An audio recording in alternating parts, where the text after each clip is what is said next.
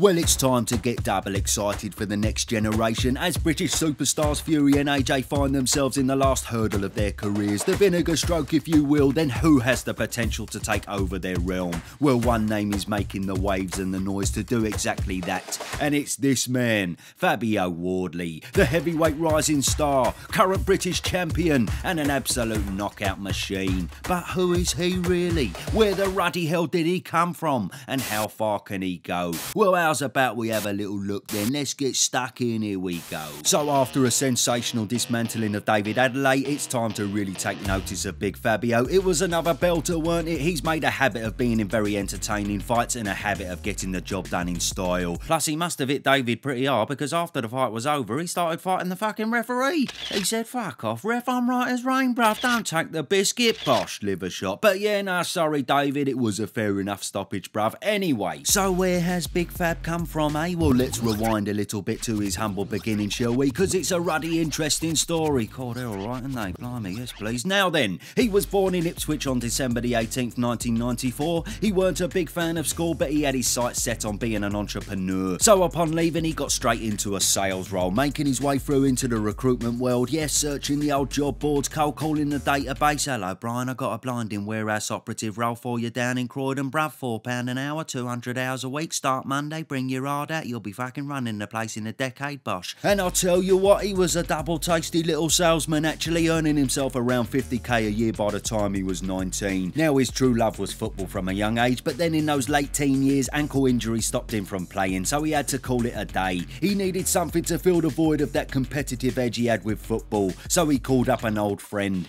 boxing trainer Rob Hodgins. Now Rob at this time had been a decent little boxing trainer at the local gym for many years, and of course is still Fabio's trainer to this very day. In Wardley's school years, Rob was a part of the Positive Futures program that helped wayward kids get on the straight and narrow through sports, particularly boxing. Rob always asked Fabio to take part, but he said, nah, bollocks. But then when his football career was over, he gave Rob a call and was invited down to do some training. And this is where it all began. The 20 year old recruitment consultant walked in the gym, hit some pads, and instantly fell in love with the game. So much so that on the same day, he asked to spar the biggest person in the gym who happened to be an ABA champion. Rob was reluctant, but Fabio insisted. So the young Wardley got in the ring, having barely an hour ago laced up gloves for the first time to spar an experienced amateur champion. And would you believe it? He went and absolutely got fucking walloped. Yeah, boxing's not really a sport you can pick up in an hour. He went down around six times. He got thrown about, was taking bare body shots and ting, but he kept getting up and he kept toughing it out. A trait that he is held for today. So he was hooked from this moment on and took it very seriously, training with Rob as often as possible, pushing his body to the limit until he eventually was getting the better of his sparring partners. He knew this was what he wanted to pursue, so he even quit his recruitment job to work part time at the gym instead. And as the word spread of how useful he was to spar with, he started to get calls from the big boys like Sam Sexton, Derek Chisora, as well as Dillian Whyte, who he built a very good friendship with. Now Fabio knew the sparring would help him catch up the seasoned amateurs, so he dedicated a huge amount of time to it. And after a wealth of sparring experience, but only four white collar fights, all of which he won, he decided to give the pro game a bash, winning his first bout on points, then following up with three solid knockouts on the small hall shows. However, his management at the time were, as he described, fucking useless, cancelling fights, not pulling their weight, and he was getting frustrated. Then, upon telling Dillian his frustrations, the body snatcher out of the blue offered Fabio to sign with himself, attempting tempting offer that would see Fabio competing on glamorous matchroom shows to a huge audience. Back in 2018, when Eddie and Sky had the British scene all sewn up, it was an absolute no-brainer. So he wormed his way out of his current contract and put pen to paper.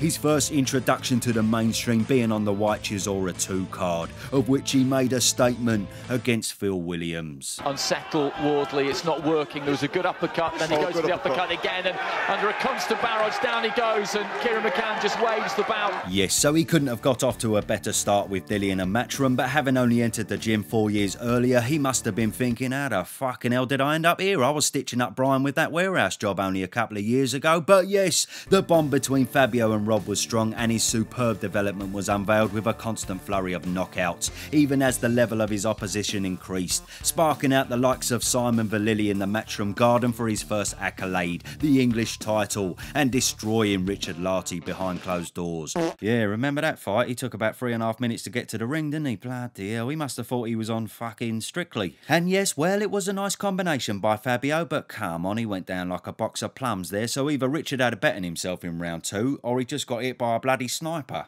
Or maybe he was just completely knackered after spending four hours walking to the fucking ring. I don't know, but yeah, slowed down, we see the shot catch the glove, it didn't really catch the head, did it? So nice acting, Dicky boy, but don't be doing that sort of bollocks anymore, bruv. You're on TV, you big fruit, you're never gonna get away with it, ruddy hell. Anyway, then it was time for his first real test against the experienced Molina, who, okay, he's never exactly been Mike Tyson, but he did fight for world titles and Fabio showed his toughness, taking a few pearlers from the American, then fighting fire with fire to get yet another big knockout. Again, a bit of a soft knockout, he's got a habit of that old Molina, but still Fabio was making noise, and after another good display against the very gay Nick Webb, two second round knockouts followed before it was time for the big one, the prestigious British title on the line against Tyson Fury's cousin, the well seasoned Nathan Gorman, who unlike Fabio had been fighting since his childhood. It was three rounds of absolute carnage as the Suffolk lad took more punishment than he would have liked, but yet again, as he had shown in the and Molina fight, when he is under the cosh, it lights a fire in him and he put Gorman down twice in round two, finishing him off in the third round. Absolute scenes. He was now British champion, an incredible achievement for such a late developer in the sport. So double fair play. Then with a chief support to AJ against Coffie, he continued his knockout streak before the grudge match that caught everybody's attention against David Adeleye, a coming together of two potential stars of the future along with a financially life-changing amount of money involved as well.